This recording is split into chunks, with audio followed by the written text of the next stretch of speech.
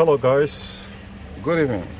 In today's very video edition here i'm going to be teaching you guys how to test a three pin crankshaft position sensor. Let me go ahead and uh, okay. I zoomed in pretty much. Okay you can see this is three pin so how do you test this using a multimeter? That's what i'm going to be teaching you guys today. So if this is bad you're gonna know if this is not generating a signal or there is any open circuit you're gonna understand it how it works. So in order for you to do this test successfully you're gonna be needing a multimeter right? You might need something like a screwdriver that has a metal on it. Then uh, you're gonna be needing a 12 volt battery right? So I'm gonna zoom in zoom out a little bit. You can't go further than this because I'm using a wide uh, angle on my on my phone. So now this is the three pin wire. So the first thing I want to do here is to get uh three clip that would be fine. Let's say three alligator clip. But since I'm not having a alligator clip here so I'm going to be pulling out clips any clip which I'm going to be using to unpin it. Now I've made my setup but I'm going to explain it to you. This pink wire goes to the positive part of the battery the white wire go to the negative part of the battery now the negative of the of the multimeter which you're gonna need to on it and turn it to voltage range dc voltage range the negative terminal will be going to the negative uh, terminal of the battery the negative uh, probe is going to be going to the negative part of the battery now the positive side. Aside uh, what i just told you right now i have my clip a, a socket which i'm going to be using to test run this uh, three pin crankshaft position sensor and another second socket. It's supposed to actually be three uh, sockets because there's going to be a lot of uh, vibration. And uh, I would have loved to get that pin so that this would be easier because without that pin right now there's going to be a lot of vibration and it's going to mess up with the with the reading. So let me get a pin. Let me look for a pin here which i'm going to be using to complete this. If i can find a very suitable three pin that would be fine. But in your own case I I suggest you use the alligator clip, three of them, or any comfortable pin that can go into these very three pins here. That's the first thing you need to get before we proceed further.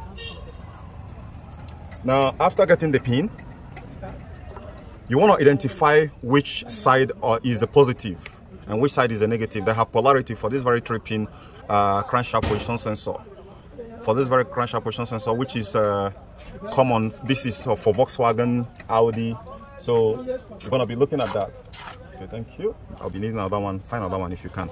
Okay, this is the kind of pin which you're gonna be needing. So let me unclip this area. Unclip this area because I'm gonna be doing something with it. Tie, untie this uh, wire. Okay, that's good, but not too much because we don't want to create any short circuit here because you have two live positive uh, 12 volt battery coming here. So now I'm gonna be clipping this red one to the middle. I want you to understand that the middle pin there is always the signal wire.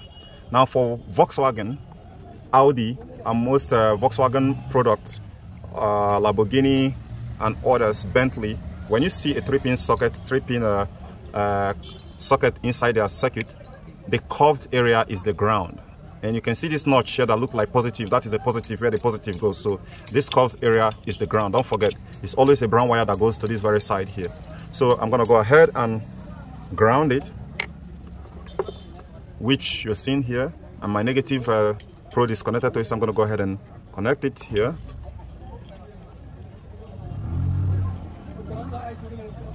This is to be a little bit tricky because this uh, pin is not meant for this very thing which I'm doing here but I'm trying hard to see how I'm going to be able to pull it off. Okay that is attached.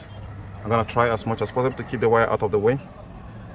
Now we come on to the second pin. The second pin also need to clip and uh, don't forget don't forget the pink wire like I said here Tady stojí ajavuk do depins. Kudy? Soblit kot ajavuk to jsou depins. A někdy soblit. O oplaja i hovným rikidži. Kudy je suja?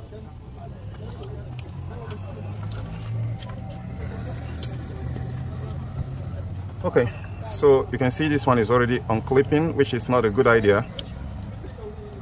Uh, I want to get it real clipped there that is why it's good to have a very good uh, clip that can go in there like this one here. I hope you guys can see it. Right so this one is very good. Because you can slot right in there without having any issues. Can you see it right there? That's how it's supposed to be. So just a moment i want to get more pins so that we get this done correctly. Okay guys uh, now we've got a better pin uh, better uh, socket which is like this. That's what you should find because it's going to give space within inside so look at how the connection is. They're not touching each other. So this one here don't forget this is the ground. This is the signal wire and this is the positive. So we're going to be co connecting the positive wire to here. You need to cut this wire short to avoid any uh, short circuit. Keep it aside. Now we're gonna go ahead and connect the negative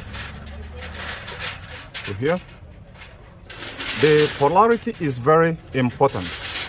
Because if you miss the polarity I'll tell you what's gonna happen. If you miss the polarity I want you to see, this, to see the connection very well. The negative come over here and feed the negative part of your multimeter. All right? To feed the negative part of your multimeter then the positive comes here. It doesn't share with any part. Then you have only one pin left that is where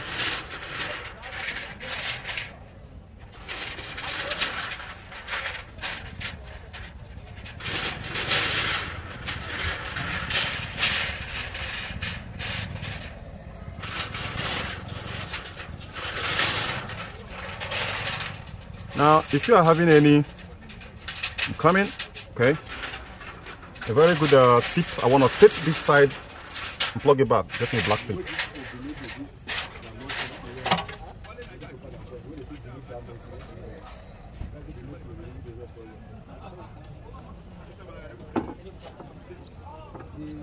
Okay, so I've got a,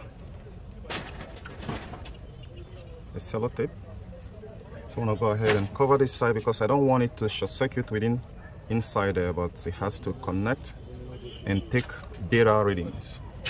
That's one of the most key important thing I also advise you to tape the other side if you are sure that you cannot actually keep your hand steady to avoid making a mess. Now I'm gonna go ahead and connect it to the middle. The middle pin there so you guys can see so I'm gonna go straight into the middle pin. And you are set. So and when you are set and get it correctly what you should be getting here oh one has gone out. You need to connect it back when you have done it correctly the reading you should be getting on your multimeter is what you're gonna see on my multimeter right now. So let me let me reconnect it back. Okay. Now this is the readings you're going to be getting on your multimeter. If you're getting anything different from this very reading here while leaving it in the voltage range then there is a problem right? So you need to switch the polarities. Don't touch the middle one you need to switch the polarities the negative uh, to the other side if you're getting 12 volts here it means the positive power is feeding the negative right but if you have set it correctly the way i have taught you here follow the white wire it goes to the negative follow the purple wire it goes to the positive then the middle wire goes to the to the uh, positive probe of the of the multimeter. Now this is where the the magic happens. So I'm gonna go ahead. I want you to keep your eye on the multimeter. This is exactly how your car automotive system uh, crankshaft is designed. So when I switch this, you start seeing reading right there. Can you see?